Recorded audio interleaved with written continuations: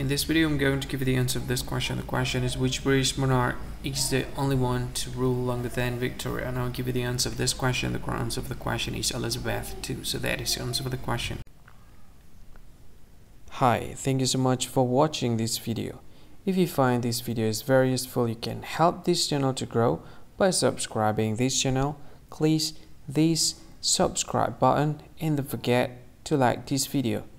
And if you find this video is not really good or you don't really like this video or you kind of feel that it's a little bit offensive or something like that, you can click this one, dislike button. You can do that anyway.